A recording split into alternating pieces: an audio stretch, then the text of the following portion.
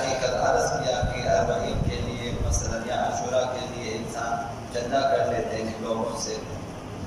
اور پھر خرچتے ہیں، پھر کچھ رقم جو ہے بچ جاتی ہے۔ کل کے مسئلے میں عرض کیا کہ اسے بینک میں رکھے اور وہاں سے فائدہ حاصل کریں یا پھر قبض الحسنہ کی عنوان سے بینک میں رکھیں۔ وہ مسائل کل بیان ہوئے۔ آج یہ ہے کہ آج کا مسئلہ کہ اربعین کے انعقاد کے لیے جو ہے پیسے لے لیتے ہیں لوگوں سے تاکہ برتن وغیرہ مثلا اس میں گلاس ہیں پیالے ہیں چائے چینی وغیرہ خریدنے کے لیے جمع کر لیتے ہیں، پھر جو ہے کچھ مقدار بچ جاتی ہے اس میں سے۔ تو کیا اس رقم کو بقیہ ایام میں ابا عبداللہ حسین کے لیے خرچنے کی اجازت ہے یا نہیں ہے؟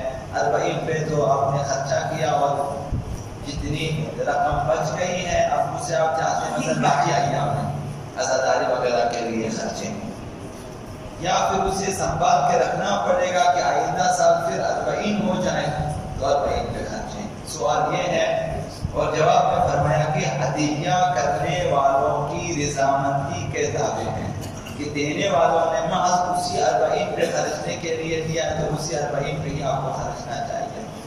اگر انہوں نے اس نیت سے دی ہے کہ اس اربعین پہ خرچیں اور بچے تو پھر چندہ کرنے والے جو ان کی مرضی ہے کہ باقی ایام میں خرچیں تو یہاں بھی آپ کی خدمت میں عرض کروں گا، ہمیشہ چندہ لیتے وقت ان سے یہ رضایت معلوم کریں کہ جو اس دن خرچ ہو جائے وہ پھر خرچ ہو گیا اور جو بچ جائے پھر اسے ہم اگلے مثلا ایام میں خرچیں گے۔ جو بھی آپ کے آپ کے ارادے ہیں وہ انہیں بتا دیں تاکہ وہ اپنی رضامندی ظاہر کریں۔ کہ آپ اربعین پہ خرچیں عاشورہ پہ خرچیں پھر اگر بچ جائے پھر باقی دنوں میں آپ خرچ سکتے آپ دوسرے جو ہیں، جہاں نیکی کے کام ہے وہاں پہ خرچ سکیں تو یہ ہدیہ دینے والوں کی رضامندی کے دعوے ہیں۔ زیارت اربعین کے لیے حضرت ایت اللہ سستانی نے جو پیغامات بھیجے، ان میں سے ایک پیغام کا چھوٹا سا حصہ یہ ہے۔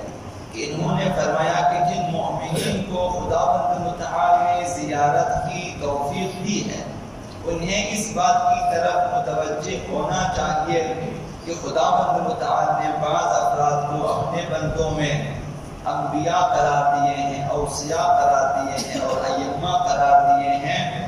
یہ اس لیے قرار دیے ہیں تاکہ یہ لوگوں کے لیے نمونے عمل بنے اور لوگوں پر حجت بن جائے۔ کہ لوگوں کے لیے وہ حجت قرار پائے اور انہیں اس لیے انبیاء اوسیاء ایمہ قرار دیے ہیں تاکہ لوگ ان کی پیروی کریں اور ان کی اطاعت کریں اور ان کی تعلیمات سے ہدایت حاصل کریں۔ اللہ نے چاہا کہ ان کے ذکر کو قائم رکھے اور اس لیے ان کی جو ہے زیارت کا حکم دیا ہے۔ خدا نے چاہا کہ ان کے مقام و منزلت کو بلند رکھے۔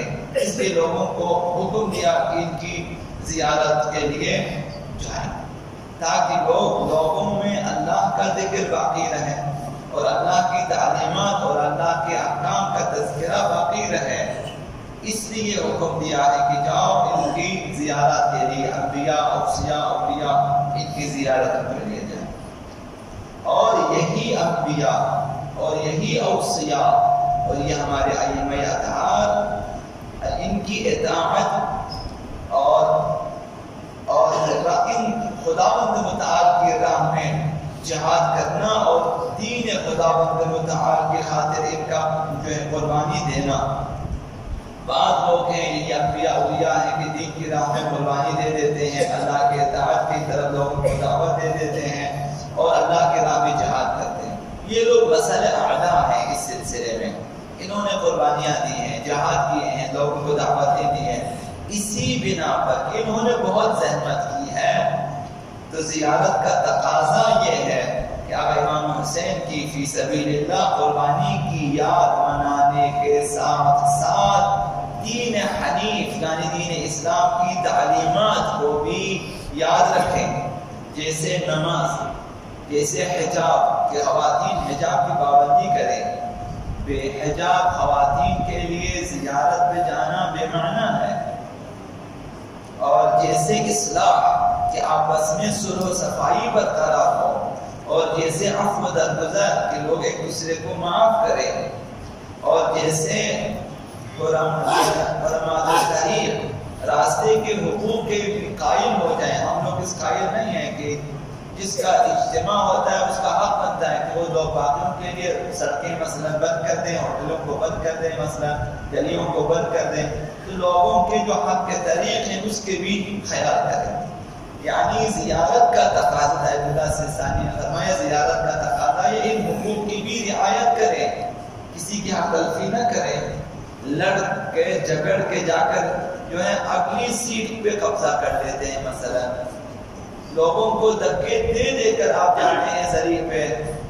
یہ بے ادبی ہے کہ ایک کمزور انسان کو کھینچا، باہر پیچھے کریں اور آپ آگے جا کے ذریعے پکڑیں تو وہ جو صاحب ذریعے ہے، وہ راضی نہیں ہے اس کام پہ۔ وہ راضی نہیں ہے کہ اب کیونکہ آپ زوراور ہے تو آپ نے کھینچا، آپ آگے گئے۔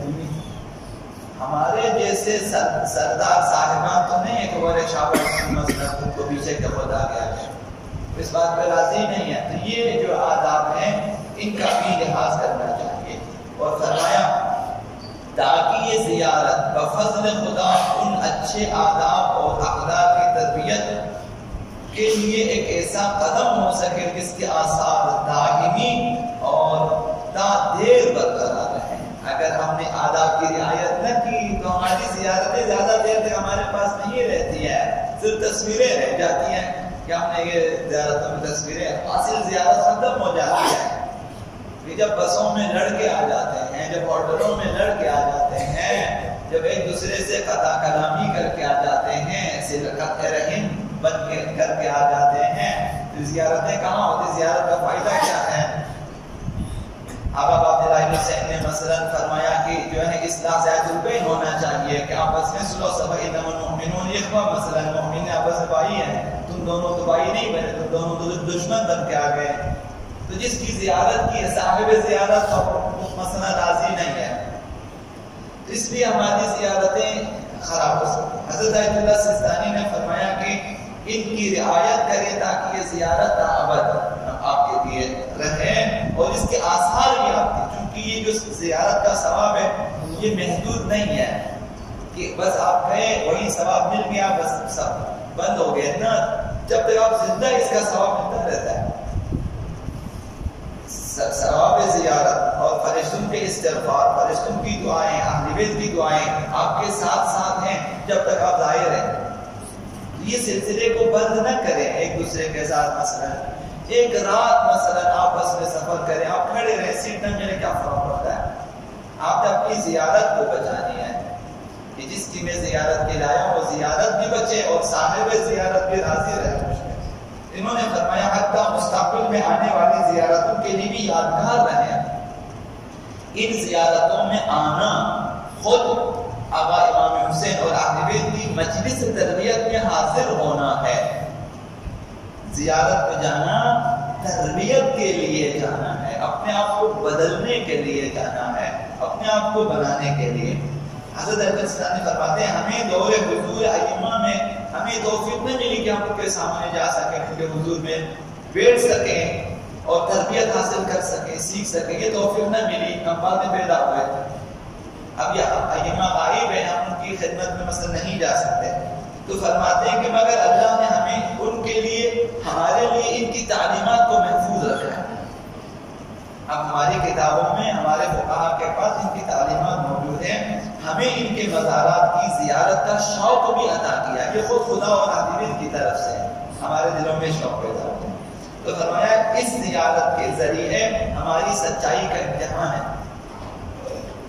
ہماری سچائی کا امتحان ہے۔ کس سچائی کا کہ جو ہمیں ہمارا دعویٰ ہے ان سے محبت کا اس دعوے میں کس قدر سچے ہیں؟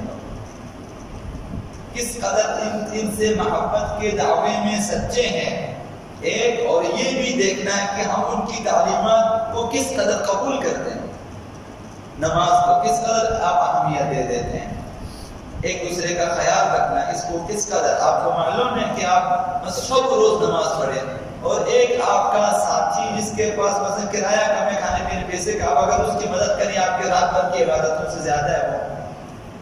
کہ ایک شخص کا خیال رکھیں، ان بیس تیس دنوں میں آپ ایک کمزور شخص کو لے جا کر اگر واپس یہاں پہ لے آئیں، شاید آپ کی زیارت سے بھی زیادہ آپ کو ثواب اور اجر پاداش ملے کہ ایک بندے کو آپ ساتھ لے کر گئے۔ تو یہ چیزیں ہمارا امتحان ہے کہ ہم کس حد تک اہل بیت کی تعلیمات کی جو ہے وہ پاسداری کرتے ہیں۔ جیسا کہ اللہ نے ایمہ کے ساتھ آنے رہنے والوں کا بھی امتحان لیا تھا۔ امیر المومنین کو دور میں ان کے ساتھ رہنے والوں لیا۔ اب عبداللہ حسین کے ساتھ کربلا کے رہنے والوں کا امتحان لیا۔ مشہور ہے آگا عبداللہ حسین کا امتحان۔ خود انہوں نے فرمایا، قسم کا خدا میں نے ان کا امتحان لیا ہے۔ مثلا یہ بہت زیادہ وفادار لوگ ہیں ہمارے ساتھ ہیں۔ اسی طرح بات آگا امام سجاد نے امتحان لیا۔ جب ان سے کہا کہ آپ قیام کریں حکومت کے خلاف۔ انہوں نے فرمایا، تم میں کتنے ایسے لوگ ہیں کہ جو ہاتھ میں انگارے کو رکھیں اور اس حد تک تحمل کریں کہ وہ ٹھنڈا ہو جائے۔ سخت ہوتا ہے اس قدر ہے کہ ہاتھ میں ایک انگارہ لے سکے، کوئی مشکل کام نہیں ہے۔ ہاتھ میں ایک انگارہ لینا کوئی مشکل کام نہیں ہے۔ ایک شیعہ، ایک ایماندار اہل بیت کے لیے، دین کے لیے۔